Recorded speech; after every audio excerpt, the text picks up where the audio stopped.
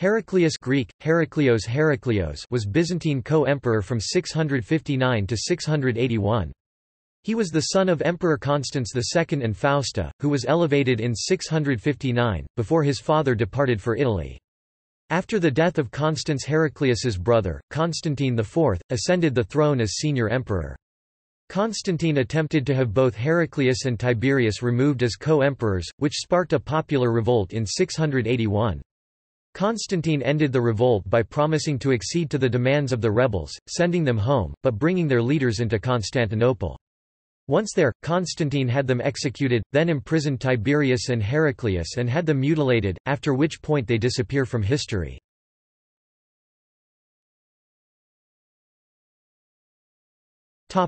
Life Heraclius was one of the sons of Constans II. His mother was Fausta, daughter of the patrician Valentinus. Although his elder brother Constantine IV had been raised to the rank of co-emperor in 654, in 659, shortly before his departure for Italy, Constans II also elevated Heraclius to the rank of co-emperor, alongside his brother Tiberius. In 663, Constans tried to have his sons join him in Sicily, but this provoked a popular uprising in Constantinople, led by Theodore of Colonia and Andrew, and the brothers remained in the imperial capital. With Constans II's death in 668, Constantine IV became the senior emperor. After ruling alongside Heraclius and Tiberius for 13 years, Constantine attempted to demote his brothers from their imperial positions, but this provoked a military revolt in the Anatolic theme in modern Turkey. The army marched to Chrysopolis, and sent a delegation across the Straits of the Hellespont to Constantinople, demanding that the two brothers should remain co-emperors alongside Constantine IV. They based their demand on the belief that, since heaven was ruled by the Trinity, in the same way the empire should be governed by three emperors. Confronted by this situation, Constantine kept a close eye on his brothers, and sent across a trusted officer, Theodore, the captain of Colonia.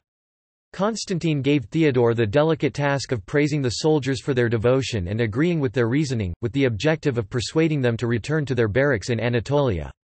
He also invited the leaders of the rebellion to come over to Constantinople and consult with the Senate in order that they may begin the process of confirming the army's wishes.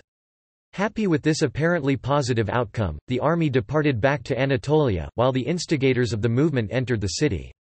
With the military threat now gone, Constantine moved against the leaders of the revolt, captured them and had them hanged at Sycae, because he was the focus of a plot to curtail Constantine's power. Both he and his brother were now suspect in the senior emperor's eyes. Also, the emperor was keen to raise up his own son, the future Justinian II. Sometime between 16 September and 21 December 681, Constantine ordered the mutilation of his brothers by slitting their noses, and ordered that their images no longer appear on any coinage, and that their names be removed from all official documentation, likely to ensure that his son, Justinian II would, succeed him. After this point, neither are mentioned again by history.